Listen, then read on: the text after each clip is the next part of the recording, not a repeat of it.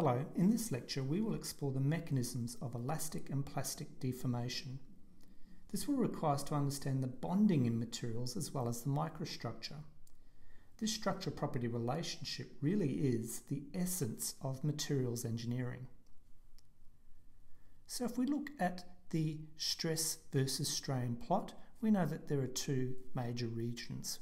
We have the elastic region, where all deformation is recoverable, and then we have the plastic deformation, which is non-recoverable. However, we should ask ourselves some pretty important questions. Why is the elastic region fully recoverable? Why is the plastic region non-recoverable? And why do materials have different Young's moduli? Let's first look at the elastic deformation and let's choose a metal specimen. And if we had a powerful enough microscope and we could zoom in, we would see the individual atoms like so within the metal. Now these metal atoms are joined together by metallic bonds, and these could be represented by little springs which are joining one atom to its nearest neighbour. So if we now apply a load on that metal specimen, what we see is that the atoms move apart ever so slightly. So what's happened is that the bonds between the atoms have stretched when we apply that load and we get a measurable amount of deflection. Now, when we remove the load, the atoms spring back to their original position.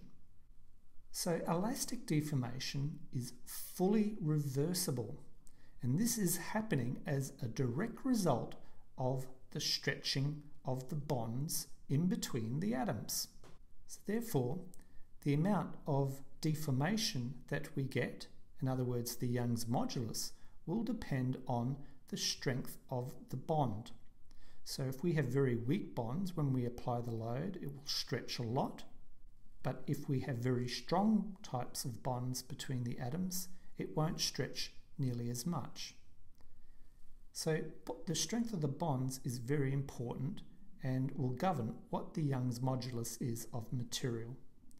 Now the other thing to take into account is the number of bonds or the density of those bonds and which way they point and that can have a dramatic effect also on the Young's modulus.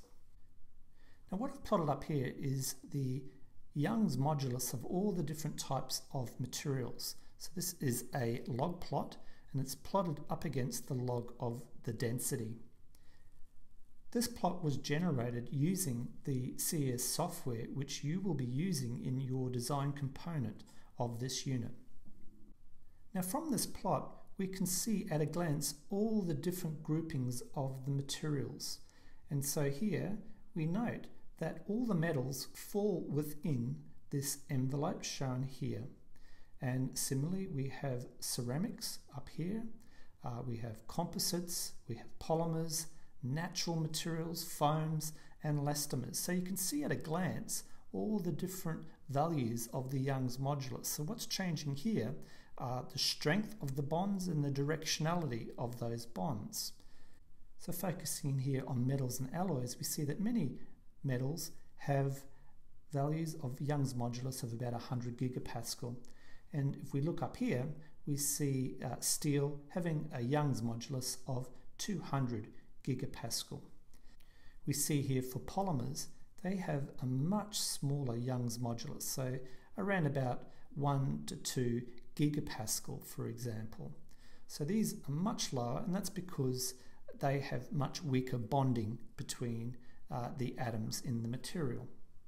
I'd just like to note here the composite materials. Now these composite materials are made out of two different types of materials combined, say a polymer and a ceramic. And these composite materials have Young's moduli comparable to that of steel. So this is carbon reinforced epoxy up here.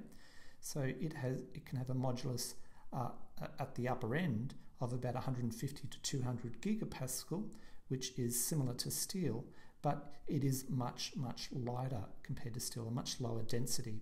And this makes them very interesting and important types of materials, uh, particularly in the aerospace industry. So let's have another look at the atomic view. So here is a metal specimen at rest. So there are the atoms and they're joined together by the metallic types of bonds. This time we will apply a load and take it past its yield strength of the material and so we'll get an amount of deformation or elongation in the material which has an elastic component and also a plastic component. So the bond stretched just as we saw before, but something else happens. What we find is that whole planes of atoms start slipping past one another, giving it additional elongation. Now, when we remove the load, what happens is that we recover the elastic component. Okay, so the bonds spring back, but these sheared planes do not go back to their original position. There's nothing forcing them to go back to the original position. So this shearing of the planes is called slip, and it happens when these close packed arrangement of these atoms slide past one another. This concludes this lecture.